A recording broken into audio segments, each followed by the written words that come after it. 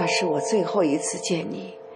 再后来，你被调到别的地方，从此就再没有联系。原来我是一个宫女。可是，一个宫女怎么会得到皇帝赏赐给妃子的衣服呢？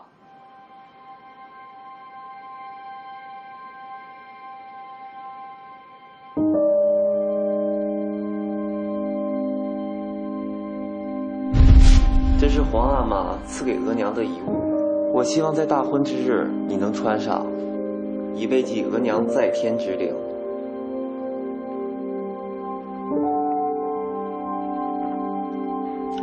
来，穿上试试。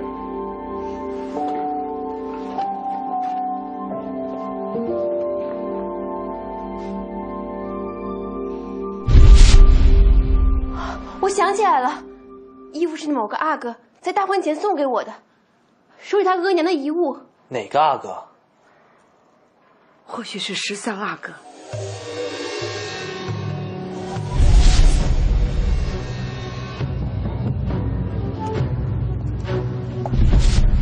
我记得喜妃从大牢出来时，拿的是婉秀的衣服。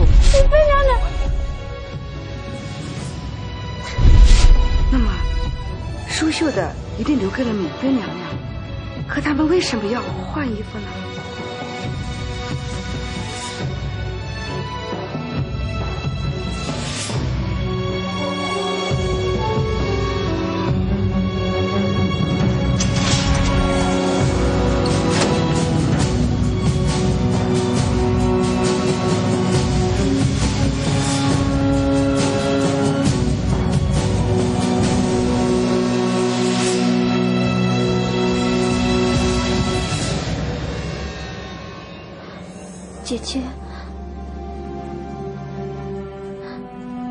请恕敏儿不能给姐姐请安。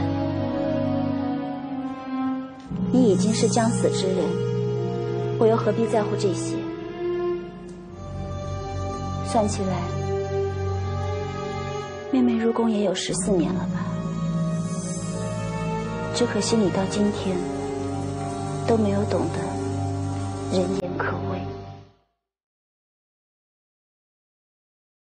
如今你落得如此田地，谁你也怪不得，你只能怪你自己。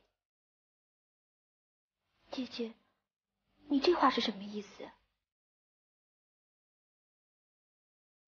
你身为皇上嫔妃，竟然私自与宫外男人私通书信，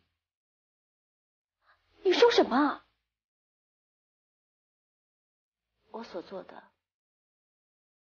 只不过是让那封信物归原主，没想到竟然被皇上送到。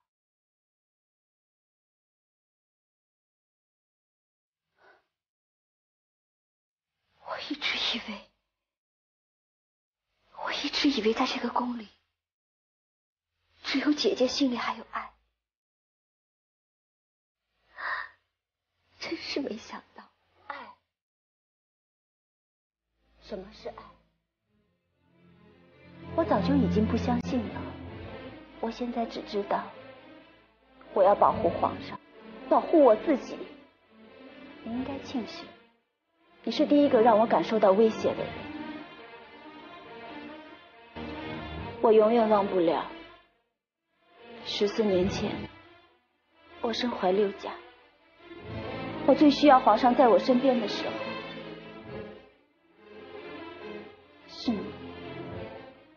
是你把他引诱到你的寝宫，让他看你变仙法看得痴迷。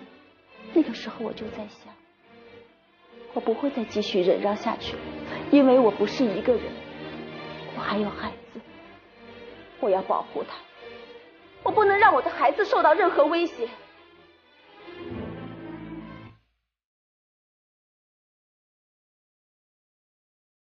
我死。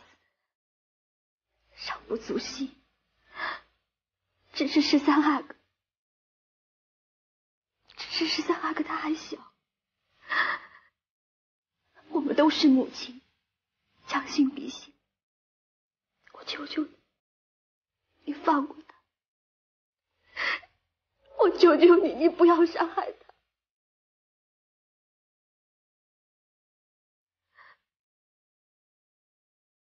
这个衣服只有袖口有不同，其他的都一模一样。我现在唯一能做的，就是让你在走的时候干干